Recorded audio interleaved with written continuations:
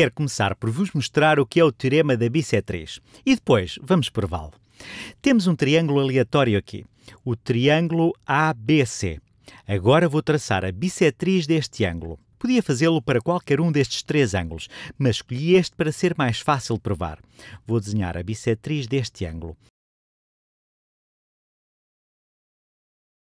O ângulo ABC.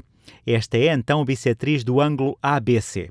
Assim, este ângulo é igual a este. Vou chamar a este ponto aqui embaixo o ponto D. O teorema da bissetriz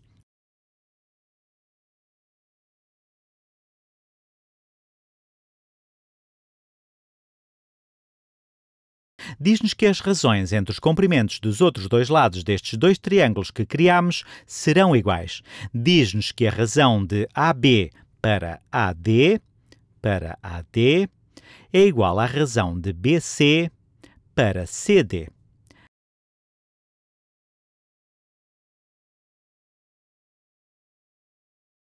A razão, vou criar aqui um código de cores, a razão disto, que é isto, para isto. É igual à razão disto, que é isto, para isto, para CD, que é isto aqui. A razão disto para isto é igual à razão disto para isto. É um resultado bem interessante, mas não podemos aceitá-lo assim, de ânimo leve, só por ser interessante. Temos de prová-lo. Bom, temos aqui algumas razões. Vamos prová-lo usando triângulos semelhantes. Infelizmente, para nós, estes dois triângulos não têm necessariamente de ser semelhantes. Sabemos que estes dois ângulos são congruentes, mas não sabemos se este ângulo é igual a este. Não sabemos, não podemos fazer essa afirmação. Para fazermos essa afirmação, temos de construir outro triângulo que seja semelhante a um destes. Uma maneira de o fazer seria desenhar outra reta isto é um pouco. Esta prova não me pareceu óbvia quando a tentei fazer pela primeira vez. Portanto, se também não vos parecer óbvia, não se preocupem. Se prolongarmos esta bissetriz, vamos prolongá-la. Continua. Talvez possamos construir um triângulo semelhante a este, se desenharmos uma reta paralela a AB aqui embaixo. Vamos tentar fazer isso. Se C não estiver em AB, podemos sempre encontrar um ponto ou uma reta que passe por C e seja paralela a AB. Vamos criar outra reta aqui. Chamemos este ponto F. E vamos traçar esta reta de forma a que FC seja paralela a AB, de modo a que esta seja paralela a esta. FC é paralela a AB. Podemos construir assim. Agora temos alguns aspectos interessantes. Fizemos isto assim para que estes dois triângulos sejam semelhantes. Vamos lá ver o que é que acontece. Antes de nos debruçarmos sobre as semelhanças, vamos atentar nos ângulos, ou no que sabemos acerca dos ângulos que temos aqui. Sabemos que temos ângulos alternos internos, por isso foquemos-nos nestas duas retas paralelas.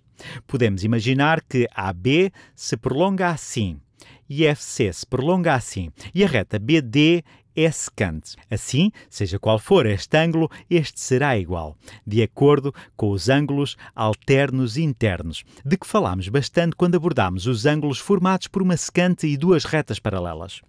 Estes dois ângulos são iguais, mas este ângulo e este também são iguais, porque este e este são iguais. Isto é uma bissetriz e por isso sabemos que o ângulo ABD é igual ao DBC. Então, este ângulo é igual a este e a este. E esse é um resultado bem interessante, porque aqui temos uma situação em que, se olharmos para este triângulo maior, o BFC, temos dois ângulos iguais na base, o que significa que este é um triângulo isósceles. Então, o comprimento de BC tem de ser igual ao comprimento de FC.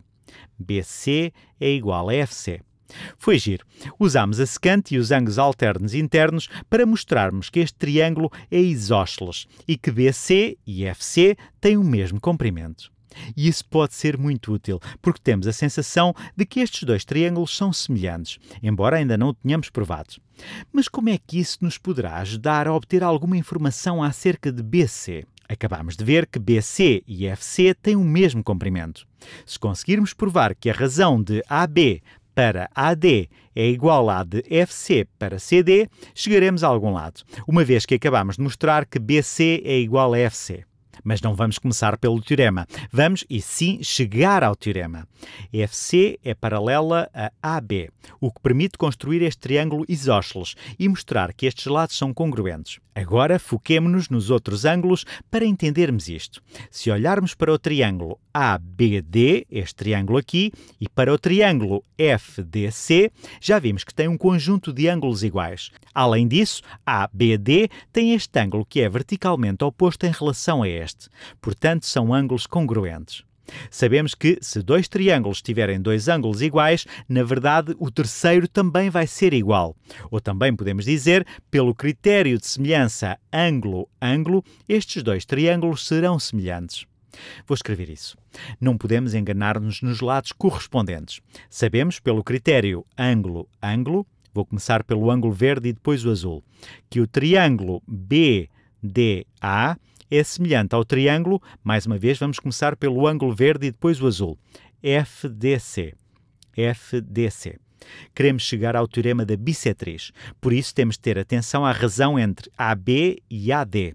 AB e AD. Em triângulos semelhantes, podemos usar a igualdade entre razões dos lados correspondentes ou podemos usar a igualdade entre a razão de dois lados de um dos triângulos semelhantes e a razão dos dois lados correspondentes no outro triângulo semelhante. Sabemos que a razão de AB. Já agora, sabemos isso através da semelhança ângulo-ângulo. É melhor escrever semelhança ângulo-ângulo. Agora que sabemos que são semelhantes, sabemos também que a razão entre os comprimentos de AB e AD, sabemos que a razão entre AB e AD é igual a podemos procurar aqui os lados correspondentes. O lado correspondente a AB é CF, é igual a CF sobre, e o lado correspondente a AD é o CD, sobre CD. Sabemos que a razão de AB para AD é igual à razão de CF para CD.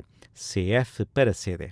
Mas acabamos de provar, visto este ser um triângulo isósceles, que CF é o mesmo que BC. O comprimento de CF é igual ao comprimento de BC. E já está. Acabamos de provar que AB sobre AD é igual a BC sobre CD. Há dois passos que tivemos de dar.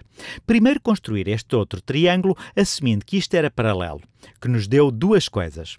Um ângulo para mostrar que são semelhantes e também nos permitiu construir este triângulo que conseguimos mostrar que é semelhante ao anterior. Além disso, podemos construir este triângulo isósceles maior para provar que, se conseguirmos encontrar a razão entre dois lados deste triângulo, essa será a razão que procuramos. Se conseguimos mostrar que a razão deste lado para este lado é igual à deste para este, é o mesmo que dizer que a razão deste lado para este é a mesma que de BC para CD. E já está.